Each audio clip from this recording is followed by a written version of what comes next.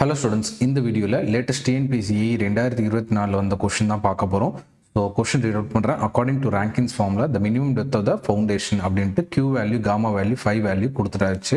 So இதில் minimum depth of the foundation கேட்குறாங்க so display பண்ணியிருக்கேன் பாருங்கள் Rankine formula for finding the minimum depth of the foundation சில வாட்டி இந்த ஃபார்முலா மட்டுமே என்னென்னா அப்ஜெக்டிவ் ஒன் மார்க்கில் கேட்டுருவாங்க. ஸோ அதனால் ஃபார்முலா வந்து பைஹேட் பண்ணிக்கோங்க. ஸோ ஃபார்முலா வந்து DF is equal to Q divide gamma into one minus sine phi divide by one plus sine phi the whole square so given data question என்னென்ன டேட்டாலாம் கொடுத்துருக்காங்க அப்படின்றது எழுதுகிறேன் பாருங்க. So given so Q value கொடுத்துருக்காங்க. Q value எவ்வளோ கொடுத்துருக்காங்க? One eighty kilo newton per metre square அதே மாதிரி காமா வேல்யூ எவ்வளோ கொடுத்துருக்காங்கன்னு பார்த்தீங்கன்னா twenty kilo newton per metre cube next phi value thirty degree அப்படின்ற மாதிரி கொடுத்துருக்காங்க. Angle of internal friction so இப்போ டெப்த் ஆஃப் த ஃபவுண்டேஷன் தான் கேட்குறாங்க ஸோ டைரக்ட் சப்ஸ்டியூஷன் பண்ணிங்கனாவே ஆன்சர் கிடச்சிரும். ஸோ சப்ஸ்டியூட் பண்ணுறேன் பாருங்கள்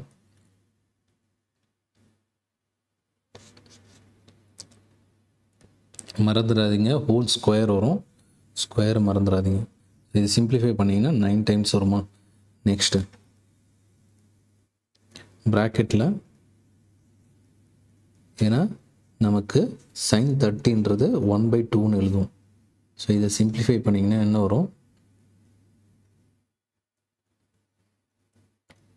சிம்பிளிஃபை பண்ணிங்கன்னா நைனு அதே மாதிரி one by three the whole ஸ்கொயர்னு வரும்.